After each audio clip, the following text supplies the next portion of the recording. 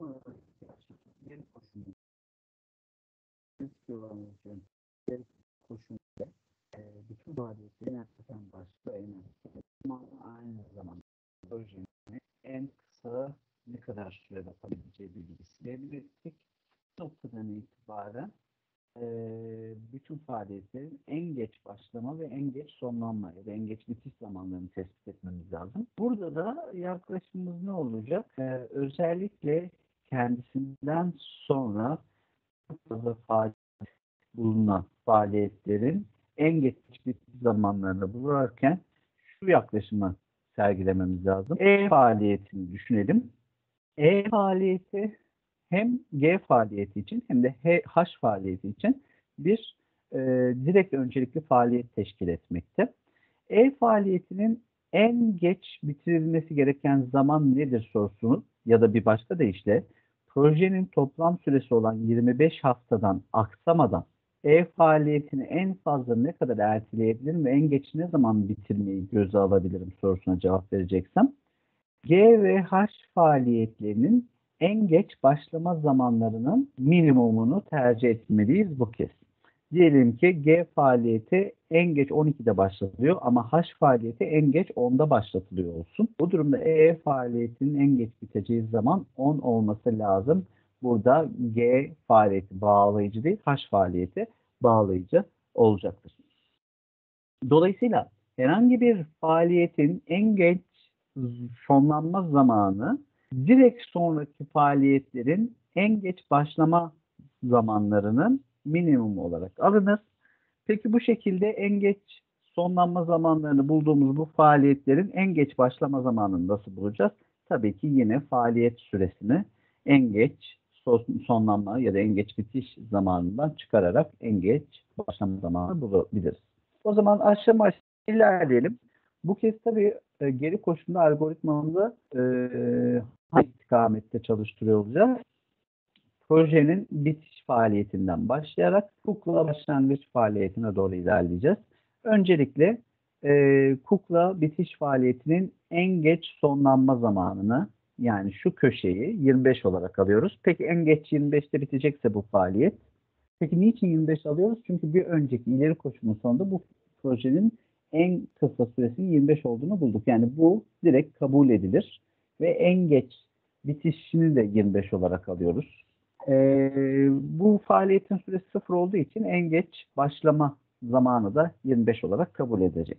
Bir sonraki aşamada I faaliyeti için I faaliyetinin en geç bitiş zamanı kendisi direkt öncelikli olduğu faaliyetlerin en geç başlama zamanlarının minimumudur ki kendisinin direkt öncelikli olduğu tek bir faaliyet var. Onun da en geç başlama zamanı 25 olduğu için I faaliyetinde en geç bitiş süresini 25 alıyoruz.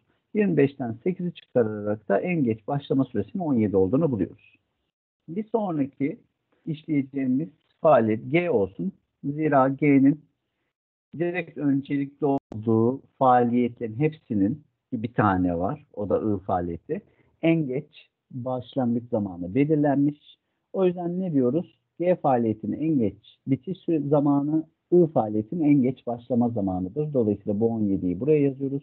Faaliyet süresi 7 olduğu için çıkarılıyor ve en geç başlama zamanı da 10 olarak bulunuyor.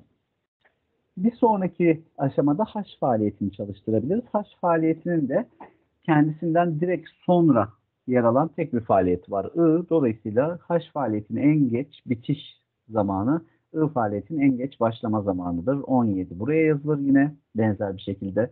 17'den 5 çıkararak da en geç başlama zamanını 12 olarak buluruz. E faaliyetine bakalım şimdi. Malum E faaliyetinin direkt öncelikli olduğu iki tane faaliyet var. Hem G hem H ve her ikisinin de en geç başlama zamanı belirli. Bu durumda E faaliyetinin en geç bitiş zamanı ne olacaktır?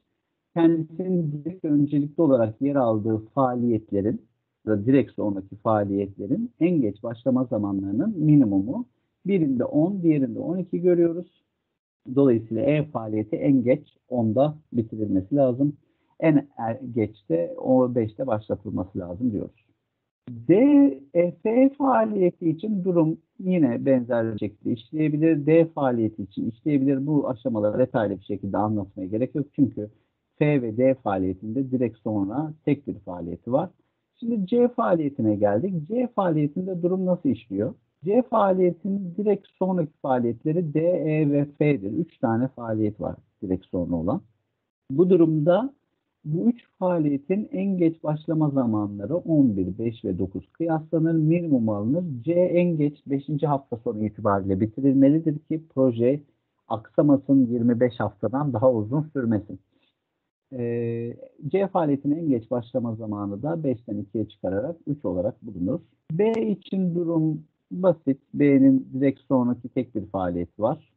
A için iki tane direkt sonraki faaliyet var. B ve C. B'nin en geç başlama zamanı 7, C'nin en geç başlama zamanı 3. Dolayısıyla A'nın en geç bitiş zamanı da bu ikisinin minimumu olmalıdır.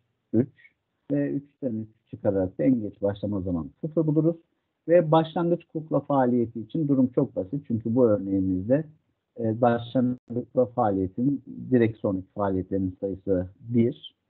Dolayısıyla ne yapıyoruz? 0 ve 0 eksi 0 0 diye yazıyoruz. Burada ileri koşulun sonucundaki değerden yola çıkarak koşumu yaptığımızda başlangıç kukla faaliyeti için 0 değerlerine ulaşamıyorsanız o zaman bir işlem hatası yapmışsınız demektir. Bu noktaya dikkat edelim. Şimdi geri koşumu da tamamladık. Şu an itibariyle yapmamız gereken bir sonraki aşama bütün faaliyetler için artık zaman değerini hesaplamak. Artık zaman değeri nasıl hesaplanır? Gerek bir faaliyetin gerek en geç başlama zamanından en erken başlama zamanını çıkarabilirsiniz ya da en geç bitiş zamanından en erken bitiş zamanını çıkarabilirsiniz. Burada da formülde söylediği gibi.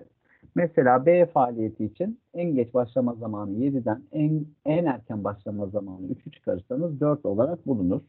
Ya da H faaliyeti için en geç başlama zamandan en erken başlama zamanı çıkarılır ya da en geç bitiş zamandan en erken bitiş zamanı çıkarılır. Yine 2 olarak bulunur. Bazı faaliyetlerin artık zaman değerlerinin sıfır olduğu görülmekte. Bazılarının ise e, pozitif olduğu görülmekte. E, negatif olması mümkün değil. O zaman dediğim gibi yine bir şeyleri yanlış yapmışız demektir. Bir işlem hatası vardır demektir. Negatif olması mümkün değil. E, bu artık zaman değerleri ne işe yarıyor peki? Artık zamanı sıfıra eşit olan faaliyetler ki burada A, C, E, G ve I faaliyetlerinin artık zamanlarının sıfır olduğunu görüyoruz. Bu faaliyetlere biz kritik faaliyet adı veriyoruz. Kritik faaliyetlerde olası bir aksama bütün proje tamamlanma süresini etki edecek. Dolayısıyla projenin en erken bitiş süresini geciktirecektir. Yani 25 hafta eğer siz A, C, E, G ya da I faaliyetlerin herhangi birinde bir aksaklık yaşarsanız proje 25 haftadan daha uzun sürede tamamlanacaktır diyoruz. E, dolayısıyla biz bu kritik faaliyetlerin oluşturduğu patikaya da kritik patika adı veriyoruz. Bu örnekte kritik patika bir tane A, C, E, G, I patikası. Bu faaliyetlere de kritik faaliyet diyoruz. Ee, ancak bir proje çizelgesinde birden fazla kritik patikada söz konusu olabilir. Yani e, paralel kritik patikalar olabilir.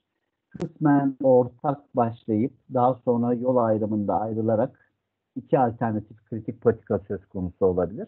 Dolayısıyla e, her projede yalnızca bir kritik patika olacak diye bir kural yok. Birden fazla kritik patika olabileceğini de dikkatinizi çekmek isterim.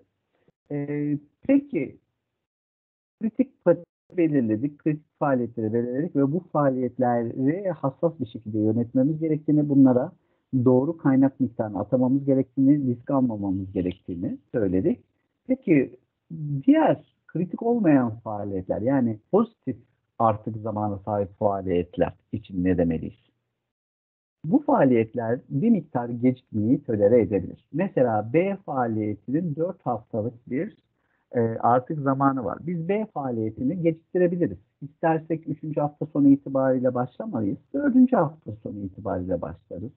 5. hafta sonu itibariyle başlarız. Ama en geç 7. hafta sonu itibariyle başlamamız lazım. Dolayısıyla 4 haftalık bir artık zaman var. B faaliyetini biz 4 haftaya kadar erteleyebiliriz. Yalnız şuna dikkat edelim. B faaliyetine de D faaliyetinde de 4 haftalık artık zamanı ortak bir artık zamandır. Yani benim B için ayrı, D için ayrı 4 haftalık ayrı zamanım yok. Eğer B faaliyetini ben bir hafta ertelersem bu D faaliyetinin artık zamanını 3 haftaya düşürecektir. Tamam Dolayısıyla bu patikanın üzerindeki artık zaman 4 haftadır. Ben 2 hafta B'yi geciktirip bir iki haftada D'yi geciktirebilirim. Bu mümkün. Ama e, B'yi 3 hafta geciktirip D'yi de bir 3 hafta daha geciktirdiğim zaman yine proje uzar. Diğer yandan B faaliyetini 4 hafta geciktirdiğiniz andan itibaren yani B faaliyetini 7. haftada başlama kararını alıyorsanız bu D faaliyetini bir kritik faaliyete dönüştürür ve projedeki kritik patika sayısını arttırır. Alternatif bir kritik patika daha oluşturur. Yine aynı şekilde F ve H faaliyetlerinde F'nin artık zamanı 4, H'nin artık zamanı 2. Ee, F faaliyetinin 4 haftalık artık zamanının 2 haftası H faaliyetine aittir. Siz F haftası F faaliyetini bir hafta ertelerseniz H faaliyetinin artık zamanı bundan etkilenmez. F faaliyetini iki hafta ertelerseniz de H faaliyeti artık zamanı bundan etkilenmez. Ancak F faaliyetini 3 hafta ertelediğiniz zaman bu faaliyet en erken 11'de bitecektir. H da en erken 11'de başlayacaktır. En geç başlama süresi 12 olduğu için bu H faaliyetinin artık zamanı bir haftaya düşürür diyoruz.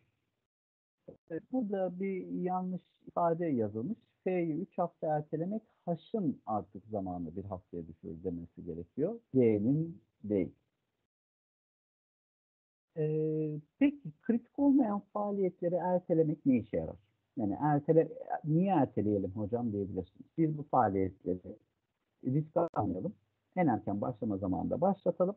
Şimdi olası aksaklıklardan dolayı faaliyet uzarsa o zaman düşünürüz. Ama niye durduk yerde erteleyelim? Ee, arkadaşlar e, faaliyeti ne kadar geç gerçekleştirirseniz faaliyete ilişkin bütçeyi de o kadar geç harcarsınız. Ve zaman değeri diye bir mefhum var. Yani siz e, B faaliyeti için yapacağınız harcamaları 3. ve 7. hafta arasında yapmak yerine 7. ve 11. hafta arasında yaparsanız söz konusu bütçeyi bir ay daha elinizde tutmuş olur ve o bir ay daha alternatif bir yatırımda değerlendirebilirsiniz. Mesela döviz alabilirsiniz, faize yatırabilirsiniz, risksiz bir yatırım olur. Ee, dolayısıyla maliyetleri ne kadar erteleyebilirsek aslında o kadar iyi. Ama maliyetleri erteleyeceğiz diye de e, kritik olmayan bir faaliyeti kritik faaliyete dönüştürmek olayın riskini, projenin süresiyle ilgili riskini de oldukça arttıracaktır. Bu duruma da dikkat etmemiz lazım. Şimdi e, bu şemaya biz Gantt şeması adı veriyoruz. Gantt şeması e, özellikle faaliyetlerin zaman ekseni üzerinde çizelgelenmesinde e, kullanılan oldukça eski bir şema biçimi. Bunu da geçtiğimiz haftaki derste söylemiştik. E, en erken başlama ve en erken bitiş zamanlarına göre söz konusu problemimizdeki faaliyetlerin e, nasıl çizelgelenmesi gerektiğini gösteriyor. Bunun yanı sıra e, kritik olmayan faaliyetler için ne kadar artık zaman varsa bu artık zaman değerleri de gözüküyor. Gantt şemalarına eklenebilecek bir diğer e, eklenti ise öncelik ilişkilerinin tamamlanması. Mesela B faaliyetinin öncelikli faaliyet, direkt öncelikli faaliyeti A olduğu için A faaliyetinin bitişinden hemen B faaliyetinin başlangıcına bir ok çıkarmak e, A'nın B'nin öncelikli faaliyet olduğunu gösterir. Aynı zamanda A'dan C'nin başlangıcına bir ok çıkarabiliriz. Veya aynı şekilde e, I faaliyetinin öncelikli faaliyeti olan, direkt öncelikli faaliyeti olan DGH faaliyetlerinin bitişinden D, G ve H faaliyetlerinin bitişinden I'nın başlangıcına bir e, ok çıkarabiliriz. E, bu okların da varlığı Gantt şemasında e, artık zamanı olan faaliyetleri oynatırken nereye kadar oynatabileceğimizi de aynı zamanda bir e, engel e, şey olacaktır, e, rehber olacaktır. E, gördüğü gibi B, D, F ve H faaliyetleri kendi e, artık zaman e, aralıkları doğrultusunda ilerletilebilir. Ancak işte B'yi ilerletirken e, D faaliyetinin de ilerlemesi gerektiğine dikkat edelim. Çünkü B, D'nin direkt öncelikli bir faaliyeti. Evet, e, bu kritik yol analizini genel hatlarıyla inceledik. Bir sonraki videomuzda proje değerlendirme ve inceleme tekniğinden bahsediyor olacağız.